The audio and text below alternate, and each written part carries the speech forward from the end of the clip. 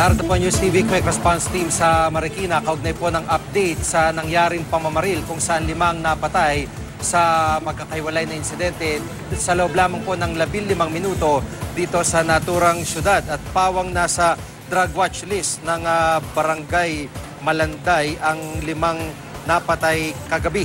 Narito po report ni Dano Tingkuko. Sa loob lamang ng 15 minuto, lima ang patay sa sunod-sunod na insidente ng pamamaril sa Malanday, Marikina kagabi. Sa impormasyon ng Marikina Police, alas 7.15 ng gabi, unang binaril sa kanto ng Kabayani Road at Mississippi Street sa Purok 3 ang biktimang nakilalang si Gerald Taduan, 36 anyos. Ayon sa Marikina Police, dinala pa ang biktima sa Amang Rodriguez Memorial Medical Center pero idineklara ring dead on arrival. Matapos ang limang minuto sa kanto ng Kabayani at Green Street sa Purok 5, binaril ang 43 anyos na si Noel Dumate. Sa parehong oras, hindi kalayuan sa Kabayani Street, binaril naman sa kanto ng Kingfisher at Owl Street ang mag-amang 45 anyos na si Regidor Dumasig at 25 anyos na si Regidor Junior. Agad na kinordo ng pulisya ang crime scene habang wala pa ang soko.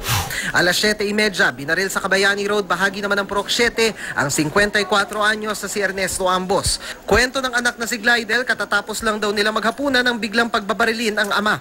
Naka-helmet siya. Tapos nakatakip yung mukha ng mask na itim.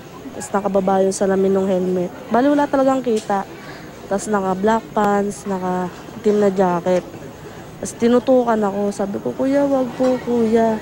Walang kaaway at hindi raw nagtutulak ng droga ang ama pero isang buwan na raw mula nang tumigil siya sa paggamit. Pero tumigil na siya nun eh. Kasi kami talaga nag-ano sa kanya. Oo. Tumigil na siya. Last month pa.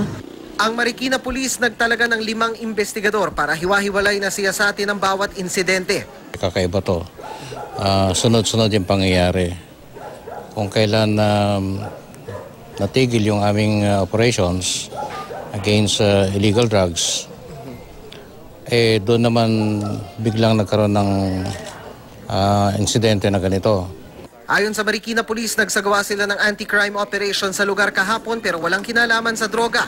Makaraan ng isa't kalahating oras, nangyari ang magkakasunod na pamamaril. Kinumpirma ng pulisya na lahat ng biktima ay nasa barangay drug watch list ng Malanday. Dalawa sa kanila nasa radar ng pulisya.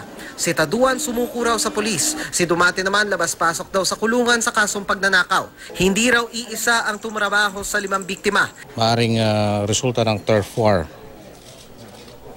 So, ang inimbestigahan namin dito, maaring nagkaroon sila ng ah, pag-aaway sa jurisdiction kung sinong maghahawak sa lugar na to.